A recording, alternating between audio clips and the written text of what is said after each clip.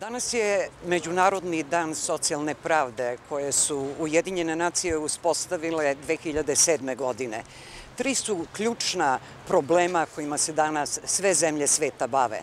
To je siromaštvo, položaj društvenih grupa koje su u situaciji da budu siromašne, u riziku dakle, od marginalizacije i problem nezaposlenosti. Nažalost, u Srbiji danas sa naprednjacima socijalna pravda ne postoji.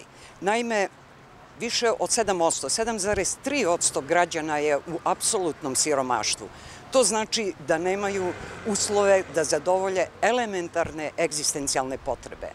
Više od 25% stanovništva je u riziku od siromaštva, dakle, najmanji poremećaj na tržištu rada ili u razvoju ekonomije može ih prevaliti preko te granice siromaštva, a ono što najviše zabrinjava, Srbija je danas među zemljama u Evropi sa najvećom društvenom nejednakošću. Oko 40% stanovništva prima manje od minimalne zarade, a skoro 80% ispod prosečne zarade a samo 10% stanovništva može da pokrije troškove prosečne potrošačke korpe.